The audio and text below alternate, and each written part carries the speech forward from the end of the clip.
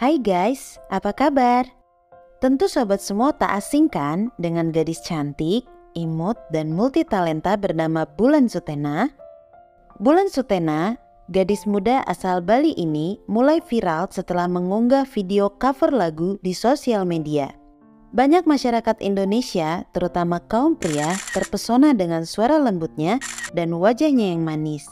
Saat ini, Bulan Sutena terkenal sebagai penyanyi, tiktokers, youtuber, dan selegram dengan puluhan juta followers. Bulan juga sempat menjadi perbincangan di dunia maya setelah menjadi bintang tamu di podcast kanal YouTube Maya Al Eldul TV di mana Maya Estianti menjodohkan Bulan dengan El Rumi putranya. Dan kini karir Bulan semakin bersinar terang dengan mulai debut di dunia perfilman Indonesia.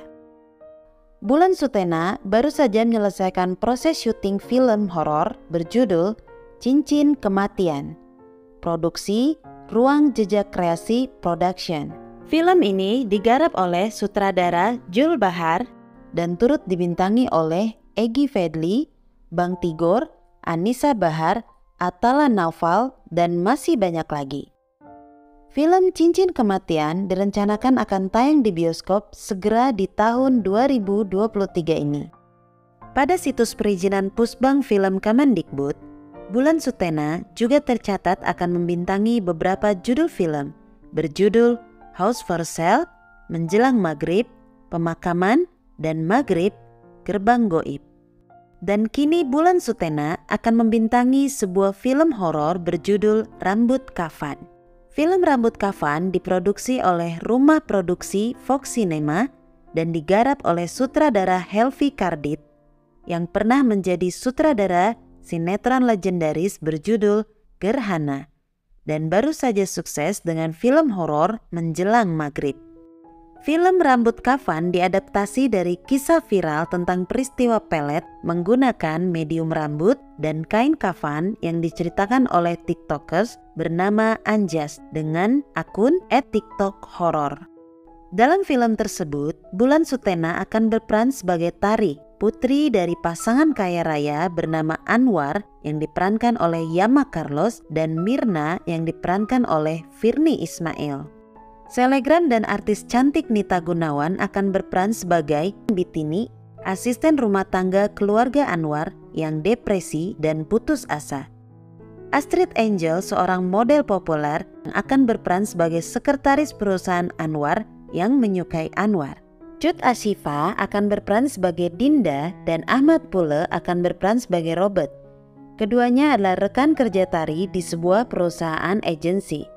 Sementara para rekan kerja lain di perusahaan tersebut akan menjadi debut para selebritis media sosial lainnya seperti Magara Adipura, putra dari aktor senior Adipura, Kathleen salah satu karakter cosplay girl, serta gamers yang terkenal di Indonesia, pembaca tarot Nena Gaib dan bule rekannya di bawah manajemen Mafera, dan masih banyak lagi. Rambut kafan juga menjadi ajang kembalinya para selebritis senior seperti Sony Tulung dan Catherine Wilson. Catherine Wilson akan berperan sebagai seorang crazy rich misterius bernama Nyi Gendis yang memberi kekayaan dengan imbalan nyawa orang-orang, sosok di balik kesuksesan Anwar.